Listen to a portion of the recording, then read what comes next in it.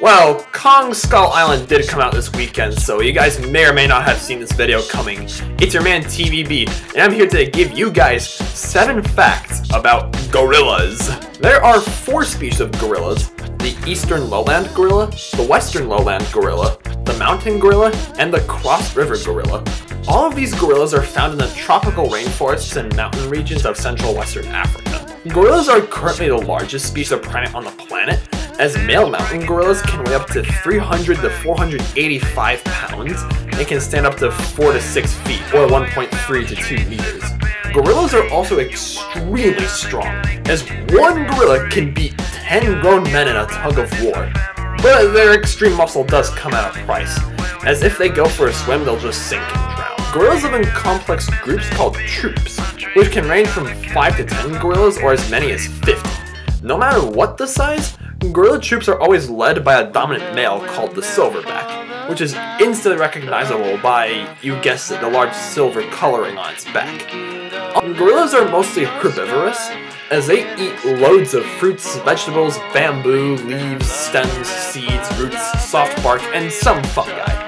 They're pretty fussy eaters though, as they carefully prepare each mouthful of vegetation before eating. Gorillas are, are vital to the ecosystem they live in, as when they eat all these different plants, they defecate their seeds throughout the forest, allowing more plants to grow. Female gorillas are pregnant for 8 months, uh, excuse me, 9 months, just like human mothers, as they usually give birth to just one baby at a time. Baby gorillas love to play and cling to their mother's fur as means of transportation, as gorilla mothers build their babies' nests in the trees when it's time to sleep. The adults build their nests on the ground. Baby gorillas can climb, but they lose this ability as they grow up since adults are too heavy to climb. Gorillas are usually mature by about like age 7 to 10. This is when they leave their parents' troop and find another. Gorillas in the wild tend to live into their 30s. They can live more than 50 years in captivity. But, but Harambe was so young! Furthermore, gorillas, as well as orangutans and chimps, are our closest living relatives, as we share 98.3% of our genes with gorillas. And it's not really hard to see why. We share plenty of emotions with gorillas, as they even feel laughter and sadness.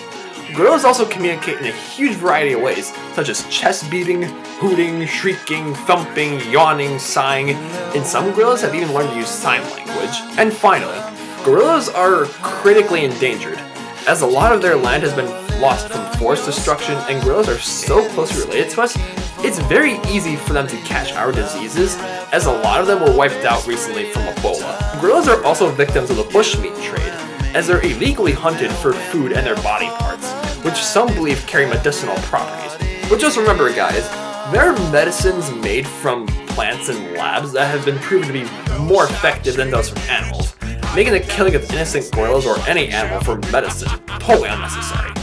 And why would you want to eat a gorilla? That that I don't know about you guys. That's like border cannibalism in my mind because they're so related to us. Well, thank you guys so much for tuning in for another episode of my seven animal facts series. If you if you guys like this, give it a thumbs up and leave me a comment. Don't forget to tell me what animal you guys want me to see me talk about next in this series. And subscribing to the channel. My name is TVB9. Have an awesome evening, and yeah, see you guys later.